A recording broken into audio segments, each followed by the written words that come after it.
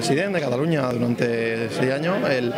una persona con una trayectoria política muy muy sólida y especialmente en una actualidad como la que estamos atravesando, queríamos desde el peso de Linares invitar a tanta gente como la que nos acompaña hoy en la sala a conocerla, a conocer profundamente de un protagonista de la historia contemporánea de España esa realidad, la realidad catalana y además tener la oportunidad de conversar con él, de compartir con él una tarde, una tarde de formación y esa es la dinámica en la que estamos trabajando del nuevo PSOE de, Linares. Como sabéis, desde el pasado noviembre hubo una, nueva ejecutiva y uno de los objetivos que teníamos con esta nueva ejecutiva era fundamentalmente el llegar a todos los militantes, a todas las militantes y también abrir los espacios, abrir eh, las actividades a cualquier ciudadano o cualquier ciudadana que quisiera participar con nosotros. Buscamos siempre temas de actualidad y en este caso, qué mejor que hoy precisamente, que está siendo tema de actualidad, que Pepe Montilla nos pueda acompañar y explicarnos un poco, darnos un poco de luz en esa oscuridad que supone actualmente Cataluña. Pues yo creo que se sale con política, que desgraciadamente ha estado muy ausente durante demasiado tiempo. Y la política es diálogo, es negociación, es pacto, es respeto a las leyes eh, y a las sentencias y los autos de los tribunales, es respeto al adversario, es velar por el interés general. Yo espero que más pronto que tarde eh, Cataluña vuelva a esa senda que nunca debió de abandonar.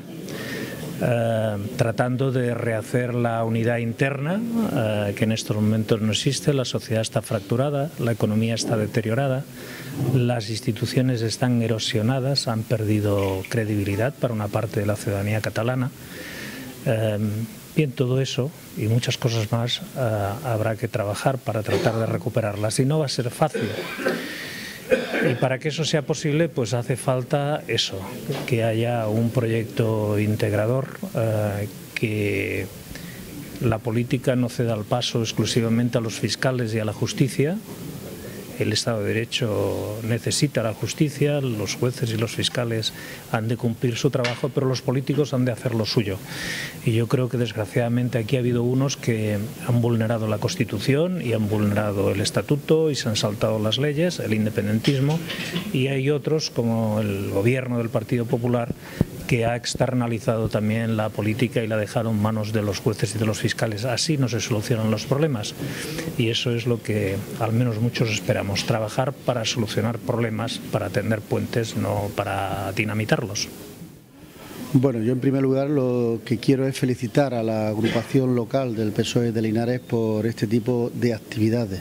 ya lo dijo su secretario general cuando accedió a esta responsabilidad y es que iba a hacer todo lo que pudiera para que Linares contara con una agrupación del Partido Socialista viva, eh, donde el diálogo, el debate, la reflexión formara parte del trabajo diario. Es fundamental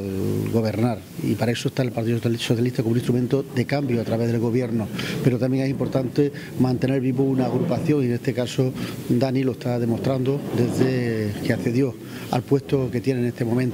Y hoy, pues contento por la presencia de José Montilla, ¿no? Creo que es una oportunidad para que en Linares, en Jaén, con carácter general, pues conozcamos una visión distinta a la que tenemos desde la distancia sobre un tema que preocupa, que inquieta, y que al mismo tiempo sentimos tristeza de lo que está sucediendo en Cataluña y creo que alguien como José Montilla, que conoce Cataluña con raíces andaluzas, nos puede sin duda ayudar a comprender un poco más lo que está sucediendo y especialmente apuntar eh, las posibles salidas de una situación difícil y complicada que se está viviendo por la dejadez de unos pocos y por el incumplimiento de las normas de otros.